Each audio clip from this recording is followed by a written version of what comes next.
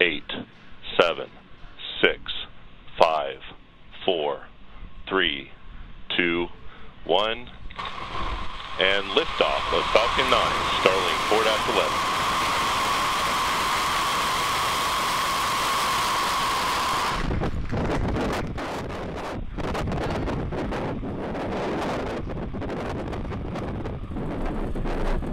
M1D chamber pressures are nominal.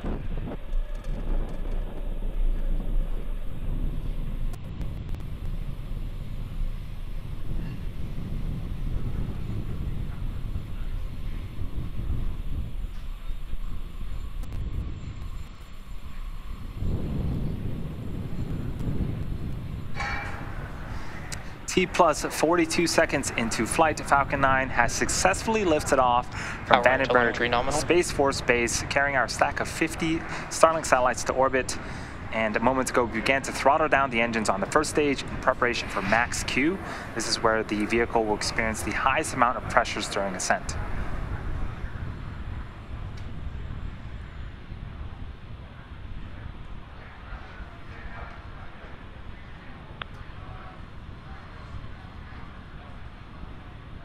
Max Q. And there was Max Q. So we have a couple of events happening in quick succession in about a minute. First up, we'll have main engine cutoff, also known as MECO, followed by stage separation, and then second engine cutoff, uh, second engine start one, excuse me, also known as SES1. Uh, first up, main engine cutoff. This is where all nine engines on the first stage will shut down in order to slow the vehicle down in preparation for uh, stage separation.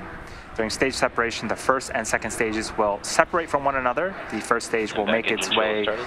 back to our uh, targeted landing zone. In this case, it's the uh, drone ship, Of Course I Still Love You, currently waiting in the Pacific Ocean. And the second stage will continue its journey with the third event, second engine start one. This is where the single Merlin vacuum engine on the second stage will ignite and propel the second stage along with the Starlink satellites into orbit.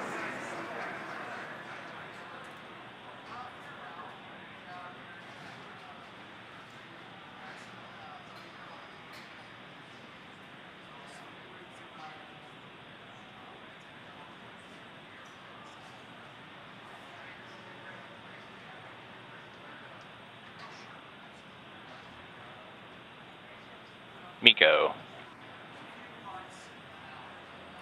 Stage separation confirmed.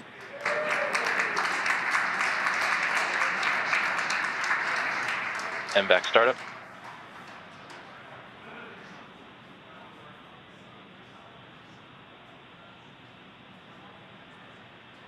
So we did have successful main engine separation cutoff. confirmed. Stage separation, uh, second engine start of the Merlin vacuum engine, and you just saw on screen that the fairing halves have uh, been deployed from the top of our second stage. We've been flying uh, reflown fairing halves since 2019, and today's fairings are flight proven, and we're going to be attempting to recover them when they return to Earth as well. Uh, so as expected, we got some phenomenal footages, uh, footage of ascent. A couple of views on screen right now. On the left-hand side of your screen is the first stage. Uh, it's a view from the top of our first stage looking down. Uh, its journey, it's, it's heading back to our drone ship in the Pacific Ocean, and on the right-hand side of your screen is a view of that Merlin vacuum engine glowing, glowing red hot, uh, continuing to carry our stack of Starlink satellites to low Earth orbit. Again, these are live views. Uh, in order for the first stage to make its way back to our drone ship, it needs to execute two burns. The first is an entry burn where three of the engines on the first stage will reignite, and this will help to slow down the stage as it re-enters the upper parts of the atmosphere.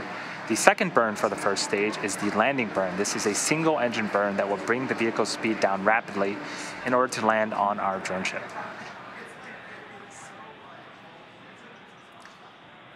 We're a few minutes away from those entry and landing burns. For now, we're enjoying some great views of both stages.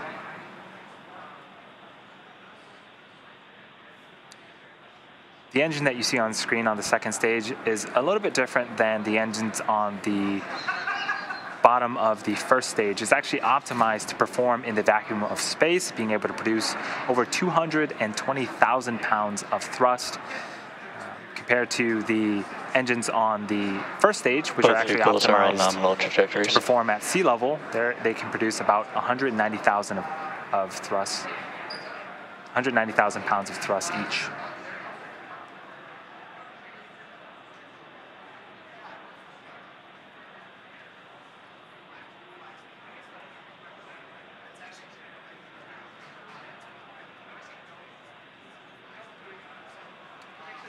So on the left-hand side of the screen, we see some puffs of gas. That is nitrogen gas from our attitude control systems. And on the adjacent side of that, um, those puffs of gas, you can see two of our four hypersonic grid fins. These help to steer and guide the first stage back uh, to its landing zone. When we do do our landing burn, uh, the center engine can also gimbal or tilt, and that also helps to uh, direct the first stage and help it land as well.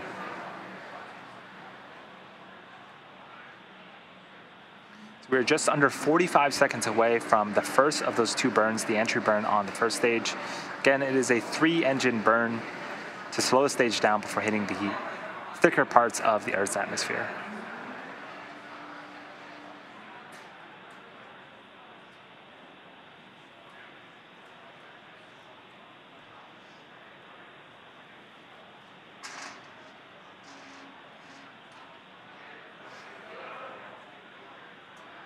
Things continuing to go smoothly for our second stage.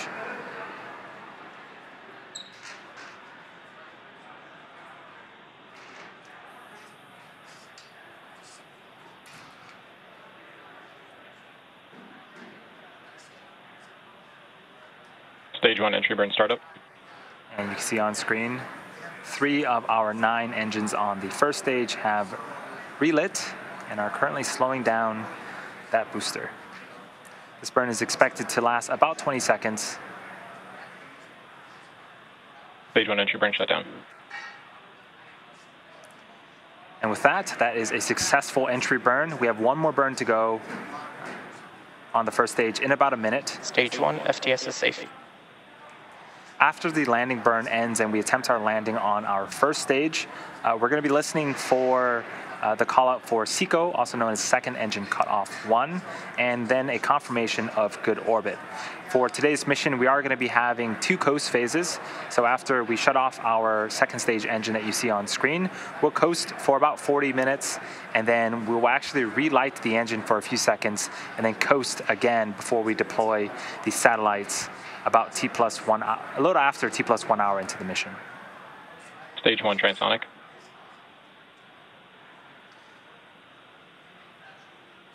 So we did lose video footage of the first stage. This can sometimes happen um, as the stage is traveling pretty quickly, but we do hear callouts South that Texas. um, it is Stage two, continuing terminal guidance. to make its way to our drone ship.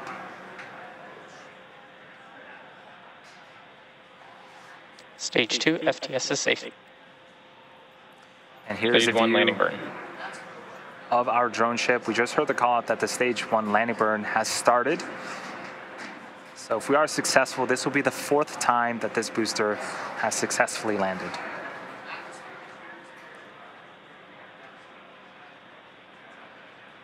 Stage one landing leg deploy. Hearing callouts that we did get the landing legs deployed, waiting for audio or visual confirmation of that first stage, and there Stage it one landing confirmed. Right in the middle of our drone ship. That is a successful first stage landing, the fourth for this particular first stage booster.